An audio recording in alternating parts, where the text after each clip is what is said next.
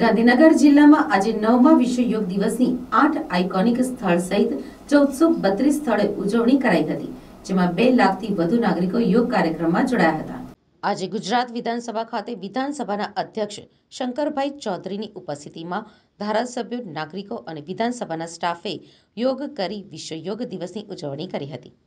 વિધાનસભા ખાતે નવમા વિશ્વ યોગ દિવસ નિમિત્તે ધારાસભ્ય રીટાબેન પટેલ, અલ્પેશભાઈ ઠાકોર, કાંતિભાઈ અમૃતિયા, ઉમેશભાઈ મકવાણા, વિધાનસભાના અધિકારીઓ, કર્મચારીઓ તેમજ નાગરિકો ઉપસ્થિત રહીને યોગાભ્યાસ કર્યો હતો.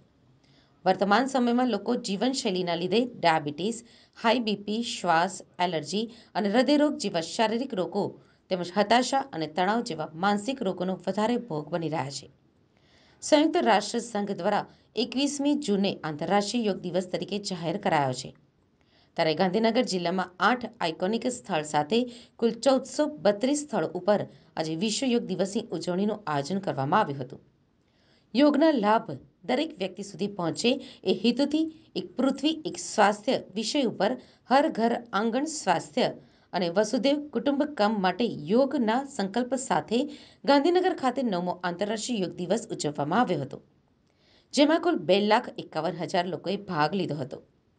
જિલ્લાના આઠ આઇકોનિક સ્થળો જેવા કે મહુડી ગિફ્ટ સિટી આંબાપુર વાવ, રૂપાલ વરદાયની માતા મંદિર, કંથારપુર વડ, અડાલજની વાવ ત્રિમંદિર જેવા સ્થળો ઉપર આજે આંતરરાષ્ટ્રીય યોગ દિવસનો કાર્યક્રમ યોજાયો હતો, જેમાં કુલ તેરસો પંચોતેર લોકોએ ભાગ લીધો હતો.